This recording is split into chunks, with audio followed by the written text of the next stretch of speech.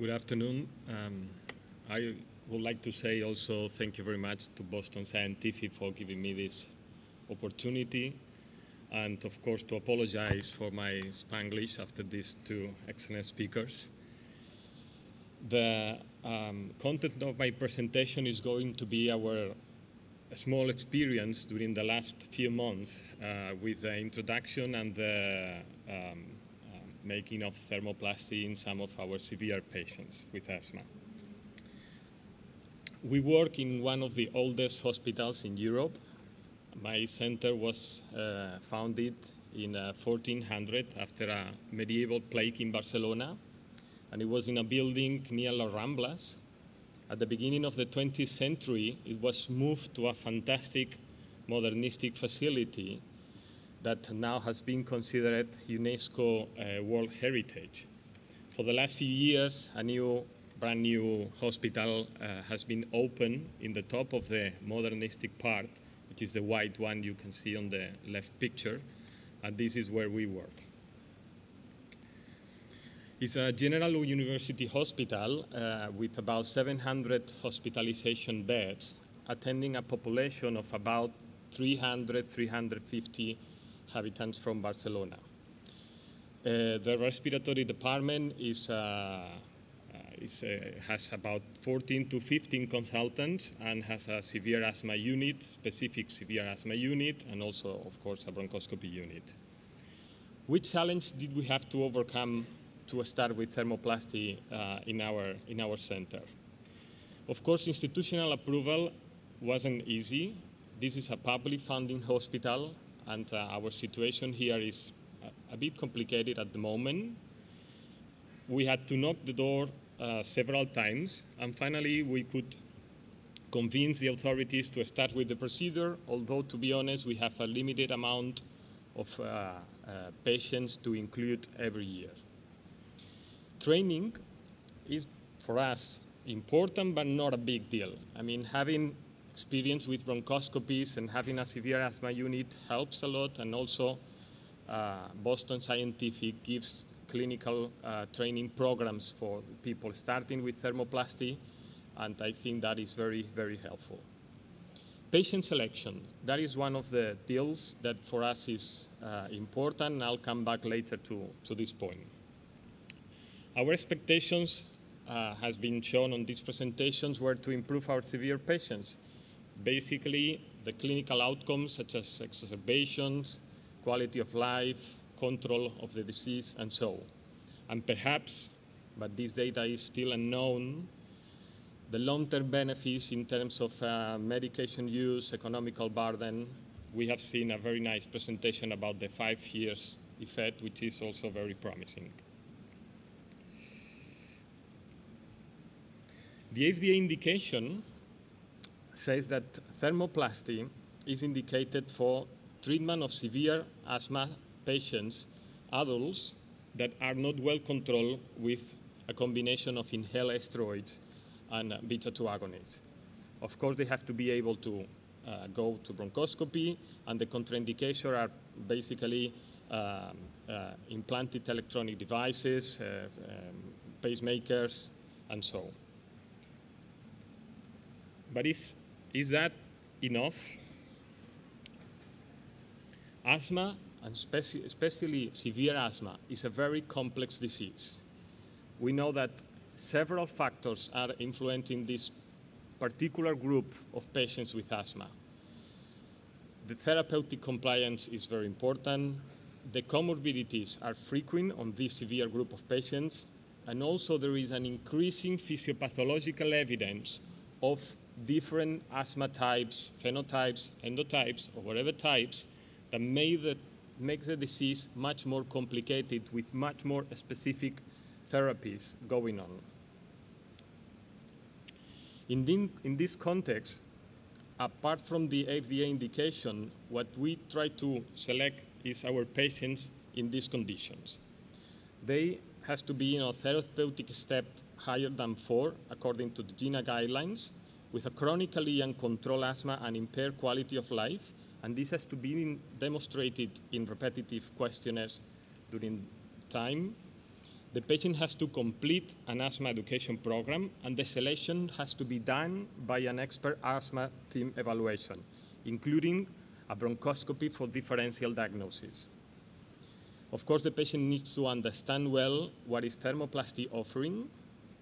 And regarding FEV1 or comorbidities, although most of the trials and the information is uh, in patients with FEV1 above 60%, there is some limited information in more uh, severe patients. We think these two factors, FEV1 and comorbidities, should be discussed individually. There are no existing criteria on how to select the patients regarding to smooth muscle, remodeling, phenotypes. Perhaps in the future with new techniques, uh, endoscopic techniques, uh, may help. The procedure is postponed if uh, the patient has an active or a recent uh, exacerbation, if the asthma is very brittle with life-threatening uh, attacks on the previous months, it's probably better to wait for an stability period and when the bronchoscopy risk is high. This is a summary of our first completed patients. Uh, before thermoplasty, on the left uh, is the gender and the age the hospital attendancy with a big number of uh, exacerbations and hospital admissions, the number of asthma drugs, the quality of life according to the Juniper, Dr. Juniper questionnaire, asthma control test, so they all had uh, an impaired quality of life and uncontrolled asthma, and a variable FEV1 for the last year. What about the procedure? It's also standard? We know from the, from the trials that has to be done by a conventional bronchoscope in three sessions, separate about three to four weeks interval, with consecutive radiofrequency activations, and each session will take about 45 to 60 minutes. Also, we try to add a little bit more of uh, information to, to this criteria. The patient comes to our uh, department on clinical stability for at least a month before the first procedure and achieving the best possible FEV1. The patient has to carry with his usual treatment, and we also give a short course of glucocorticoids if the patient is not regularly taking it. We are doing in the standard bronchoscopy suite, and the sedation, we use deep sedation with propofol and remifentanil, and the patient is intubated with a flexible tube. We know that this has been done in different ways, but for us this is very important because these patients cough a lot. And having a good cough control and also ventilatory safety is, is, is important. Uh, with this sedation and the patient intubated, is very easy to work, quicker, and also our sensation is the number of applications can be higher than when the patient is uh, moving or coughing and the sedation is, uh, is um, less, less deep. Also, secretion is a problem during the procedures and patients have hypersecretion and having the patient intubated helps to remove the bronchoscope and the catheter to clean it as many times as, as need. Uh, two or three bronchoscopists participate during the procedure, and anesthesiologist is not really difficult but requires concentration, and it takes about 45 to 90 minutes. And what about the number of activations? We all have similar anatomy, but we are all different. Some of the bronchi are very easy to access, some of the bronchi, the apical ones, are not that easy. And it's not really a big rule about how many activations, and we don't really know when the catheter starts reducing the effectiveness if this really happens. After the procedure, the patient remains in observation for three to four hours and is uh, uh discharged uh, if that is possible, although uh, the patient remains overnight if it's required. We intensify bronchodilators and we start uh, intense physiotherapy because also helping the patient to remove the secretions after the procedure is, uh, is helpful for them. Of course, we offer the patient a telephone contact and a weekly visit, and we have a follow-up protocol. This is a summary of our clinical results. After four to nine months of follow-up, after we finish, we complete our first patient, we have had four good responders and one non-responder. We don't know exactly why. The non-responder patient had mild, very mild, but had smoking history, and also uh, uh, was a lady with uh, bronchomalacia. We have seen frequent side effects, although they are generally mild and limited to the first day or couple of days, as the clinical trials have shown. On, the, on the table, you uh, can see the change on the, in the asthma control test before and after thermoplasty, and the third patient was the non-responder.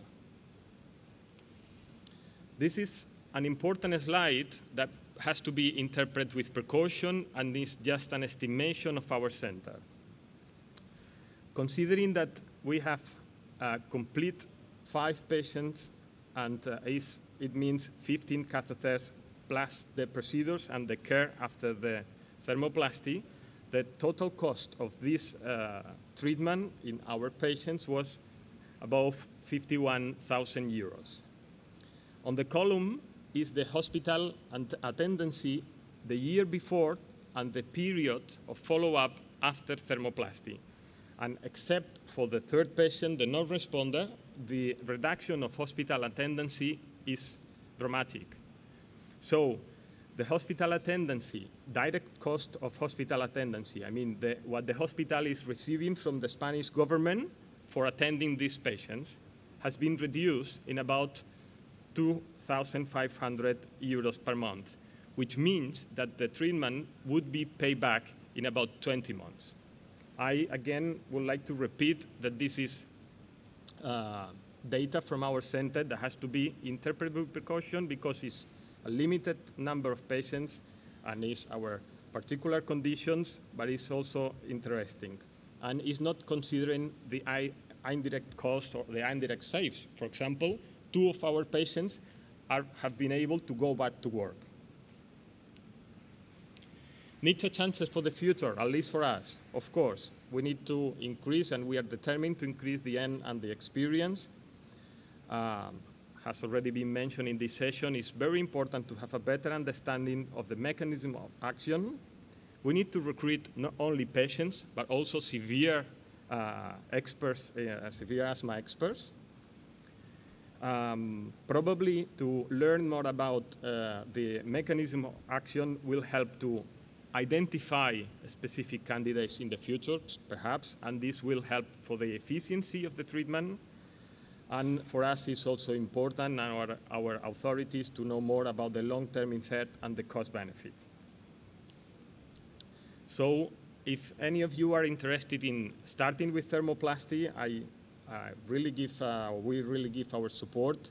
It's important uh, to have a good institutional support from your centers, to have a, a department organization and appropriate training.